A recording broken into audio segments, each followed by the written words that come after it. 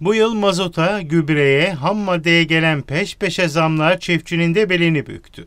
Üretici artık bırakın para kazanmayı, giderlerini dahi zor karşılar hale geldi. Bu durumda çiftçiyi tarlalarından uzaklaştırıyor. Adapazarı Ziraat Odası Başkanı Ercan Ateş, çiftçinin son durumunu anlattı.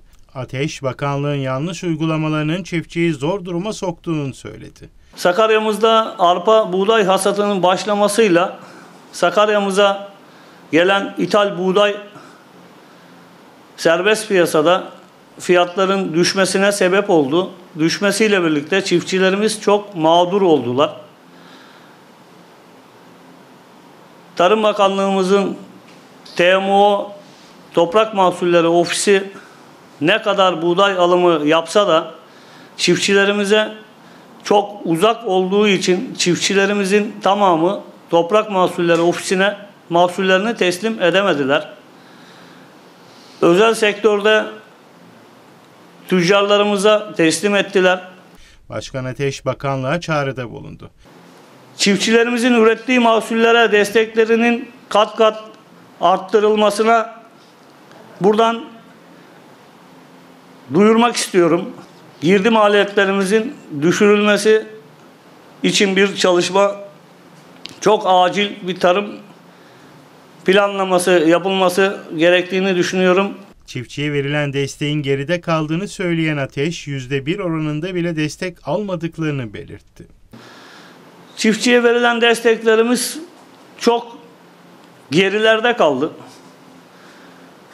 Ee, yani 10 yıl önce belirlenen rakamlar hala aynı rakamlarla desteklemeler veriliyor. Bu verilen desteklemeler yani bundan 10 yıl önce bakarsak yüzde 10 gibi idi. Şu an yüzde bir bile destek almıyoruz bakanlığımızdan. Desteklerimizin yani kat ve kat gün şartlarına göre arttırılmasını ben buradan talep ediyorum.